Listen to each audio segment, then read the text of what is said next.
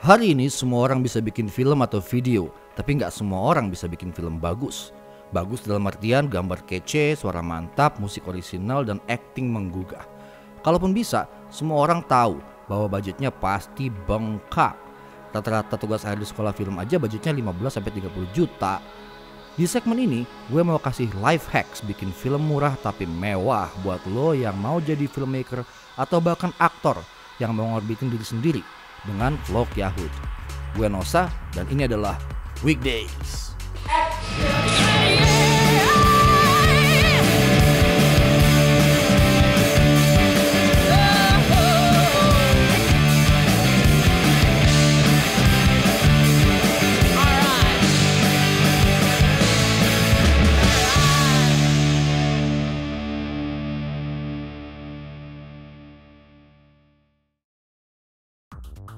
Pertama, praproduksi.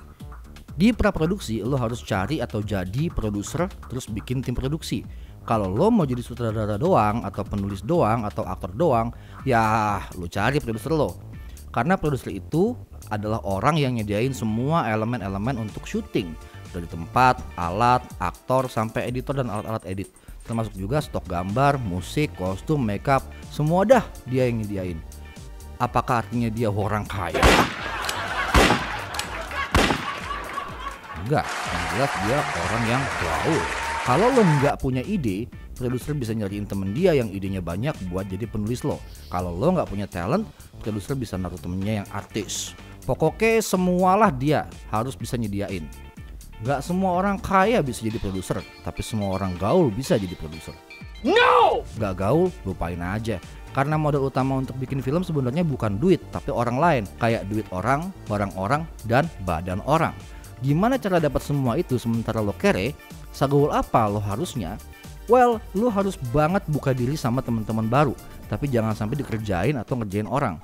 Karena trust, kepercayaan adalah modal utama dalam pergaulan yang sehat. Ibarat ML, kalau nggak pakai cinta, gak asik dan sis. Dan jadi produser yang baik kayak partner seks yang baik. Sedapat mungkin, jangan bayar. Cukup pakai cinta aja. Kedua, produksi. Kalau produser lu gaul dan jago merayu, lo bisa dapat semua dengan harga murah bahkan gratis. Produser bisa ngerayu dengan nawarin hal-hal yang lebih besar dari duit, kayak utang budi, koneksi, atau pelacuran. Tapi balik lagi seganteng atau secantik apa produser lo? Loh, kok produser yang melacur? Lah iya nih film indie kok.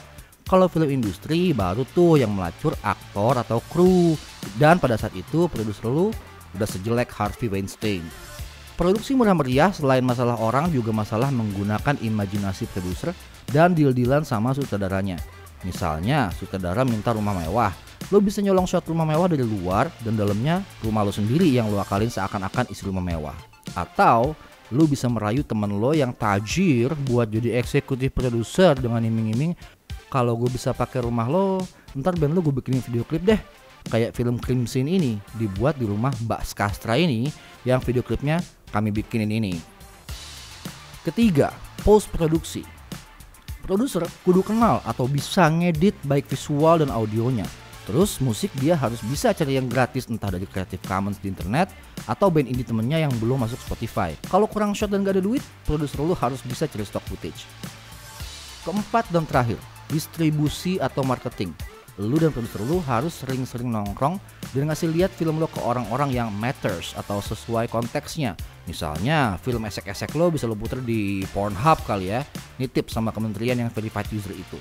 Buka film freeway atau short film depot terus mulai distribusikan film lo. Tapi pastikan tema dan topiknya sesuai dengan platform setiap festival yang lo ajukan. Jangan masukin film komedi romance lo ke festival film art house kalau lo bikin gaya sinetron gitu atau lo bikin sinetron pocong gue yang ngebor misalnya bisa tuh lo masukin art house. Kalau lo merasa ini semua ribet lo bisa mulai dari yang gampang dulu nongkrong. Nongkrong di mana? Ya cari komunitas yang terbuka buat orang baru. Banyak banget apalagi di selatan Jakarta. Ada forum Lenteng, Studio Antelope, Mondi Blank atau Karang Taruna RW 9 bisa lah lo cari tahu semua itu bisa lo google. Abis itu lo bisa mulai berproses Hai, kalau lo suka apa yang lo lihat, uh, tulis komen di bawah, jangan lupa subscribe. Terus kita bisa diskusi lebih jauh soal gimana caranya bikin film. yang murah meriah. Oke, Em, oke sampai ketemu di depan. Bye.